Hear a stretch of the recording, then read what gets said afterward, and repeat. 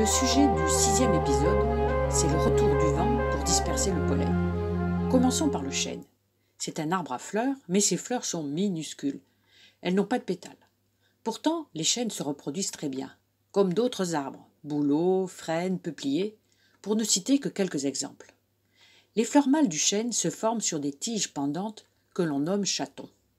Le pollen se disperse grâce au vent. Chez le bouleau se forment des nuages de millions de grains de pollen qui indisposent ceux qui sont allergiques. Ces grains, de l'ordre du centième de millimètre, possèdent des aspérités qui irritent particulièrement les muqueuses. Tous ces arbres diffusent le pollen grâce au vent, comme les conifères, qui le font, eux, depuis bien plus longtemps, puisque 100 millions d'années les séparent. C'est donc un retour à l'ancienne méthode, qui n'est pas si archaïque que cela. Le noyer est un autre exemple. Sa partie mâle est constituée de chatons plus épais que ceux du chêne, mais suffisamment souples pour qu'au moindre souffle de vent, le pollen s'envole.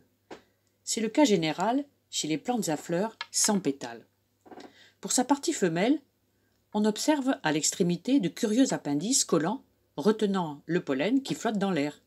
Dessous, l'ovaire deviendra une noix si la rencontre des sexes se réalise. Chez le noisetier, l'appendice est rouge et éclaté en plusieurs parties, et parfois sous la neige, au début du printemps. Le châtaignier a des chatons particulièrement longs d'un jaune brillant. Retenu sur la fleur femelle, le pollen mâle germe s'il est reconnu par l'arbre comme étant de la même espèce. Le tube qu'il forme atteint l'organe femelle. Cette progression se fait en quelques heures, bien plus vite que chez les conifères, où cela peut prendre une année entière, voire deux. Une fois arrivés à l'ovule, les deux spermatozoïdes fécondent deux cellules, la première à l'origine de l'embryon d'arbre et la seconde à celle des tissus nourriciers de la graine.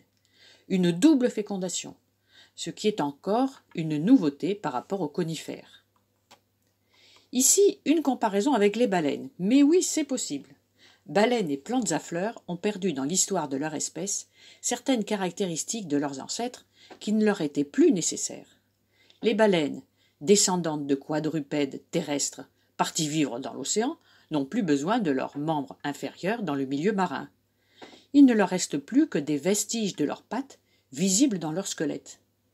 Tout comme les arbres pollinisés par le vent, comme ces fleurs mâles et femelles de hêtre, n'ont plus besoin de leurs pétales, puisqu'ils n'ont plus besoin de pollinisateurs pour la rencontre des sexes. Au diable tout le tralala de la séduction. Ces arbres en font l'économie. La prochaine fois, nous parlerons de la formation des graines et des fruits, festin pour les animaux, du donnant-donnant en quelque sorte. À bientôt!